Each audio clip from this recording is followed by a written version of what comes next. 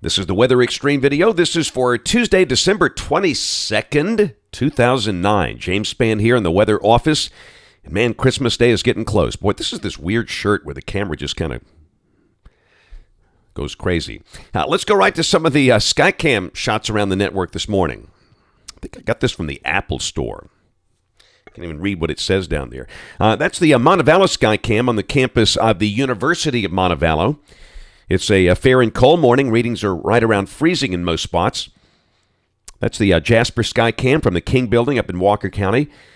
And the Hugh Thomas Bridge in Tuscaloosa. Note that little ba- fog bank over the Black Warrior River. Uh, there could be a little freezing fog in spots, but the biggest problem with that is uh, north of the state. Well, there you go. New storm, and the as the uh, El Nino storm machine continues to crank out the hits. And this one will be kind of an outlier. Instead of being a classic Gulf storm, this one's going to be farther north. It's going to uh, take away any chance of a white Christmas here, but uh, don't worry, there are more to come where this comes from that will be more typical.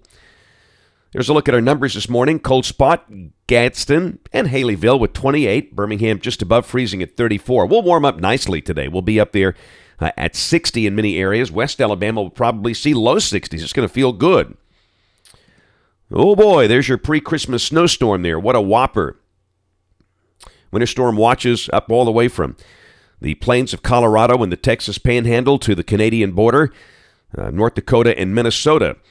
And some of the cities that are going to be hammered out there would include uh, Omaha, uh, Des Moines, Minneapolis, St. Paul.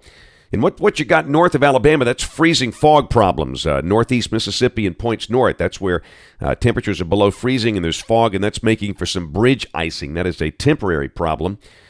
All right, we'll be in the warm sector of this thing. Let's look at the convective outlooks. This is today just very low end probabilities over eastern Texas. That does not warrant a slight risk. Tomorrow, the slight risk is well to the west.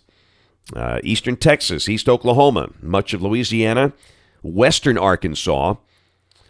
And on day three, this is Thursday, Christmas Eve, a slight risk over far southwest Alabama, basically Mobile, Baldwin, and Washington counties, and that's it. extreme south Mississippi and southeast Louisiana, uh, you can see there are low end probabilities all the way up to Memphis and Muscle Shoals.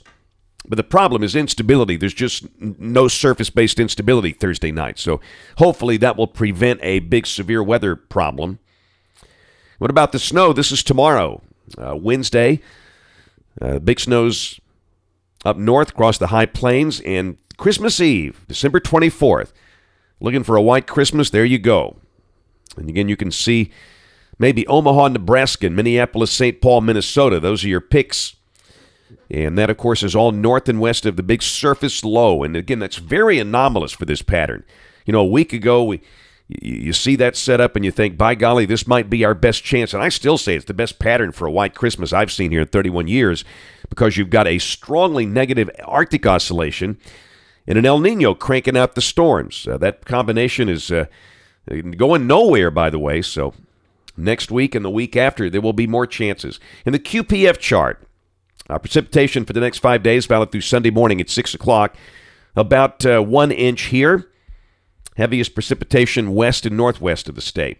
Look at modeling. This is the GFS. This is the 06Z run at noon today. There's your new storm out west down below. Nice day here. We'll be up there close to 60. Pretty decent amount of sunshine. Tomorrow, we stay dry, we think, although clouds will likely increase. Rain breaks out to the west with the warm air advection pattern. Uh, a lot of rain out there. Uh, Mississippi, Louisiana, Arkansas. We'll mention a slight chance of a shower late tomorrow, but it will be mainly on the western side of the state. And what's that thing down there above Cuba? Could we have a Christmas tropical storm? You know, I checked the SSTs down there. By golly, it's supportive of a little tropical system. So uh, how about that little tropical system for Nassau maybe uh, at Christmas time? Uh, Thursday, there's your big trough. Down below that, the surface low on this run is near Little Rock, trending a little farther south. And uh, again, obviously, with a setup like that, you'd be concerned about severe weather if we have instability, but we really don't. We'll go to Thursday night at midnight. The surface low moves due north uh, up there into uh, the Iowa Missouri border and the uh, band of thunderstorms is uh, blowing through here. That's midnight Thursday night. We'll peek at the uh, surface based instability, and again, there is none. That's uh, 6 o'clock Thursday, and you have to go down to uh, Mobile Bay to find any. But of course, we all know the helicity is going to be sky high. So it's your typical uh, high helicity, low cape kind of deal, but the cape is just so low that we don't think we'll have a major problem. But you know, when it comes to thunderstorms, expect the unexpected. And then Christmas Day, uh, ooh, look at the secondary low developing. You know, we've thrown out this idea a good bit, and that's not surprising.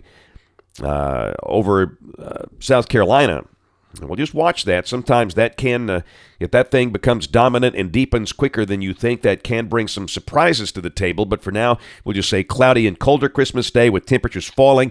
We'll probably start out around 50, wind up around 40 by afternoon. And then uh, Saturday, after the day after Christmas, just cold and dry and probably mostly cloudy. And Sunday, look at the energy coming through the trough. And the cold air deepens. We might not uh, get out of the 30s on Sunday. Clouds, cold, blustery, raw.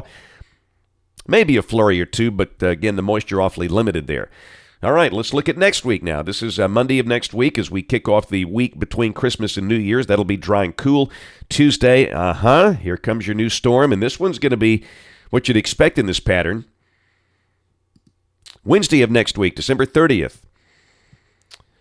Shortwave rotating right through here. The surface low is near Marianna, Florida.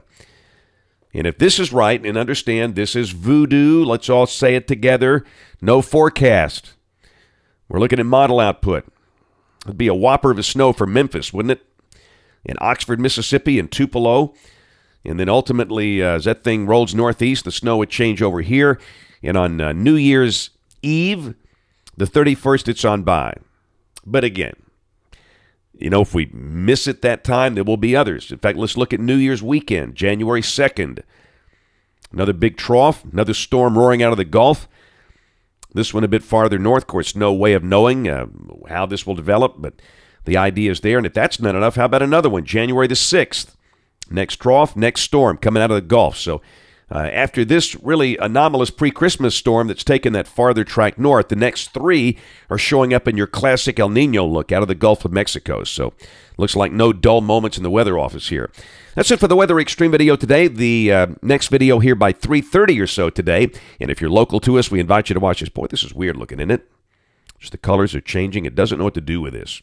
Uh, the next video here by 3.30 today. The news at 5, 6, and 10, ABC 3340 in Birmingham. Thanks for watching. Have a great day, and God bless. Each day, there are new stories to tell about the people who live here and the place we call home. All of the